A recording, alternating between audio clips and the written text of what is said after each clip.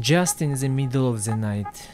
Some kid, no helmet, no lights, just like this. He actually want to die. Early hours in the morning, everyone going to work and look at this. Some lucky morning that everyone have to pass over. He just don't understand the rules. Some old guy that not moving his car. Two hours later. Just look at all line behind him when I'm passing over.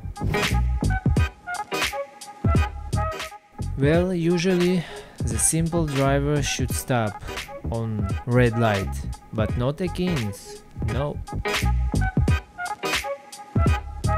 I don't know if this is some love, family, friendship, but these guys want to be very close to each others, even if this is dangerous. 16 years old guy I guess think that WhatsApp is much more important than driving scooter. He can't stop. He just driving scooter with one hand and with left hand he's writing WhatsApp. Amazing. Such a great driver.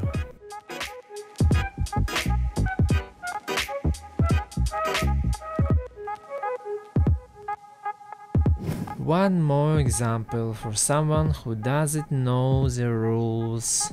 I guess people like this one, it's not just shame. People like him, not a drivers. Well, you should watch left and then go. Maybe the reason why they're driving like this because they just don't have a license.